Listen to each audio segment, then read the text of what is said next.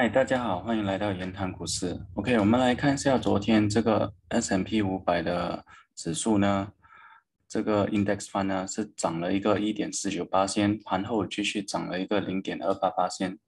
主要的原因是因为这个联储局他说明年他会预备三次的这个升息，可是这个是属于一个好的消息，因为市场已经知道它的这个升息的力度不会不会很大，就是在于一个零点九八先，就是到明年年尾的话，所以它现在已经减少这个债券的首回购啊，已经减少到六十个比连一个月，所以基本上到明年的三月呢，就会停止啊在市场里面回购这个债券。所以，所以这样的情况就造成这个股票市场一有了它的那个消息过后就开始涨。我们看一下它的这个图啊，现在的这个指数都 S M P 五百都高过这一个啊五天的这个平衡线，就是被这个这个五十天的平衡线支撑着。所以这个两百天的在这里，所以基本上还是蛮啊强的一个向上升的一个趋势，因为现在已经到四三多了在这里，所以我们看一下个股方面呢，现在目前来讲，我看到比较啊跌的比较低的，反而是在银行股啊，就是因为有了那个消息升息的消息。然后再加上那个啊疫情了下来，到现在都还没有涨回上去，所以现在是在现在它是低过这一个五十天的这个平衡线啊，所以它会不会像上次这样跌低了，然后又拉回上来，然后又一个很快的增长呢？我看这个银行股要等到它一月的时候，它出业绩的时候。才会有一个啊好的消息。如果它的它的赚幅是超过预期的，不然它就会在这边盘旋。然后你看跌的比较凶的，然后是这个 Citibank。Citibank 目前它现在是掉到蛮厉害的，因为它有说它会停止回购公司的股票。所以那个消息一出，再加上之前的那个啊 Omicron 的关系，所以它已经跌破了这个呃两百天跟五十天的这个平均线，现在就一直往下，所以是一个 down trend。可是以价值来看的话呢，现在这只股票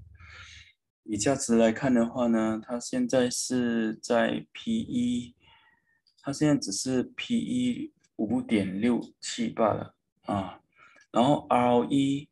有一个是二点七五八千，所以十二点七五其实是蛮高的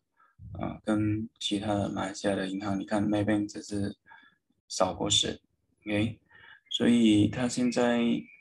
的营业增长就没有，因为它现在在，它现在就啊开始撤撤资在东南亚这些，它就开始撤掉还有一些的 branch，然后 revenue growth 啊。的话，跟去年相比是有增长一点啊。而宁波些啊，五年是没有什么增长啊。然后这个 year on year 的话，季度跟季度的话是有增长的。所以他换了一个新的女 CEO，相信啊，他这个女 CEO 应该是还不错。现在 PE 是蛮低的，就是在五点六二七，那 average 都有一个十。最低是四点四零二，距离最最低那时候疫情的时候啊，就差不多就会达到，有可能会达到，所以所以现在就是这个情况就导致，可是昨天的话它跌了过后，它有稍微涨回一点，不过以图来看的话还是比较难看一点啊。然后你看它之前它的 earning per share。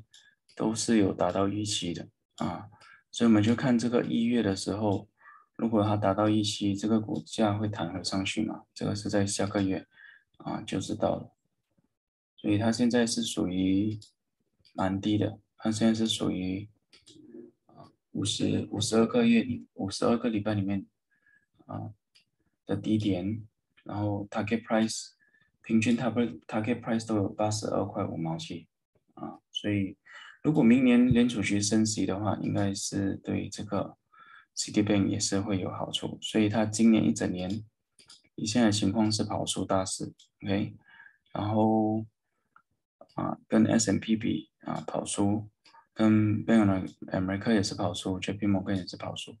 ，OK，所以如果你是看好明年，明年他已经说会升升息了嘛，对不对？会升三次息，所以会去到啊那一个零点九八千。啊，升息的话，如果你是放长远的话，可能这个是一个啊机会，在 Citibank 啊，我们就一起再来看